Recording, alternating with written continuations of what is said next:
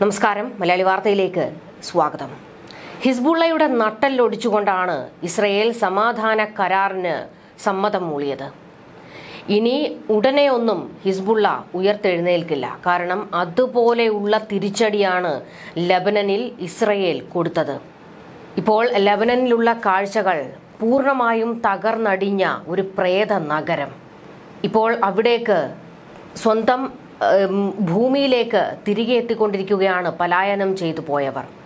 അവർക്ക് വേണ്ട എല്ലാ സഹായങ്ങളും ചെയ്തു കൊടുക്കുമെന്ന് അമേരിക്കയും ഇസ്രയേലും വ്യക്തമാക്കിയിട്ടുണ്ട്. അതായത് പുനർനിർമ്മിക്കുന്നതിന് വേണ്ടി വീടുകളും തകർന്നടിഞ്ഞ മറ്റ് സംവിധാനങ്ങളും എല്ലാം പടുത്തുയർത്തുന്നതിന് അമേരിക്കയുടെയും ഇസ്രയേലിന്റെയും സഹായം ഉണ്ടാകും എന്നുള്ള വിവരങ്ങളൊക്കെ പുറത്തേക്ക് വരികയാണ്.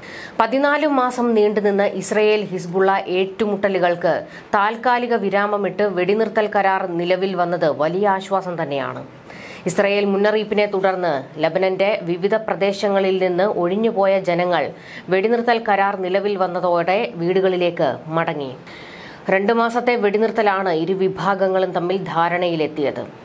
ദക്ഷിണ ലബനനിൽ ആയുധങ്ങൾ അടക്കമുള്ള ഹിസ്ബുള്ളയുടെ സാന്നിധ്യം ഉണ്ടാകരുതെന്നും ഇസ്രയേലി സൈന്യം അതിർത്തിയിൽ നിന്ന് പിന്മാറണമെന്നുമാണ് വെടിനിർത്തലിലെ ധാരണ. എന്നാൽ വെടിനിർത്തൽ ധാരണകൾ മുഴുവൻ എങ്ങനെ പ്രാബല്യത്തിലാക്കും എന്നതിൽ വ്യക്തത വന്നിട്ടില്ല. ഇസ്രയേൽ ആക്രമണത്തിൽ ഇതുവരെ സാധാരണക്കാരടക്കം മൂവായിരത്തി എഴുന്നൂറ് പേർക്ക് ജീവൻ നഷ്ടമായി എന്നാണ് ലബനൻ സ്ഥിരീകരിക്കുന്നത്. അതേസമയം ഏറ്റുമുട്ടലുകളിലായി ഇസ്രയേലിൽ നൂറ്റിമുപ്പത് പേർ മരിച്ചു എന്നാണ് കണക്ക്. ലബനനിൽ വെടിനിർത്തൽ പ്രഖ്യാപിക്കുമ്പോഴും ഗാസ യുദ്ധത്തെക്കുറിച്ച് ഇതിൽ യാതൊരു പരാമർശവുമില്ല എന്നുള്ളതും എടുത്തു പറയേണ്ടതാണ്.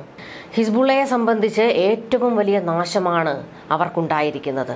അതിൽ പ്രധാനം അവരുടെ സാമ്പത്തിക നട്ടലൊടിഞ്ഞു എന്നുള്ളതാണ്. ഹിസ്ബുള്ളകളിലേക്ക് ഫണ്ടിംഗ് നടത്തിയിരുന്ന പല കേന്ദ്രങ്ങളും താറുമാറായിട്ടുണ്ട്. അതായത് ഹിസ്ബുള്ളയുടെ സാമ്പത്തിക കേന്ദ്രങ്ങൾ തകർത്തെറിഞ്ഞിട്ടുണ്ട്. ഇസ്രയേൽ. അതിനൊപ്പം തന്നെ ആയുധ കേന്ദ്രങ്ങൾ തകർത്തു. വലിയ ആൾനാശം ഹിസ്ബുള്ള ഭാഗത്തുണ്ടാക്കാൻ ഇസ്രയേലിന് കഴിഞ്ഞു. അത്തരത്തിൽ ഉടനെ ഒന്നും ഉയർത്തെഴുന്നേൽക്കാൻ പറ്റാത്ത തരത്തിൽ ഹിസ്ബുള്ളയെ ചവിട്ടി മെതിച്ചിട്ടുണ്ട് ഇസ്രയേൽ. ലോകത്തിന് ആശ്വാസമായാണ് ഇസ്രയേൽ ഹിസ്ബുള്ള യുദ്ധഭീതി ഒഴിയുന്നത്. വലിയൊരു യുദ്ധഭീതിയായിരുന്നു ഉയർന്നു നിന്നത്. അതിന് ഒരു താൽക്കാലിക വിരാമം ഉണ്ടാക്കാൻ അമേരിക്കയ്ക്കും ഫ്രാൻസിനും കഴിഞ്ഞു എന്നുള്ളത് ആശ്വാസകരം തന്നെയാണ്.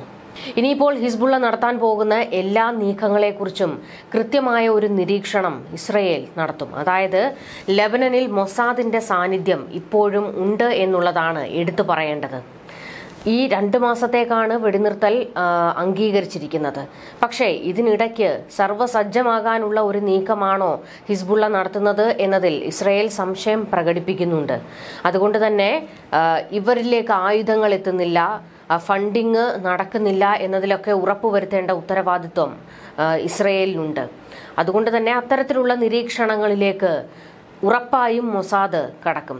ഇവരിലേക്ക് എത്തുന്ന എല്ലാ ഫണ്ടിങ്ങിന്റെയും വേരറുക്കാൻ മൊസാദ് തുനിഞ്ഞിറങ്ങിയിട്ടുണ്ട് എന്നുള്ളത് വ്യക്തമാണ്.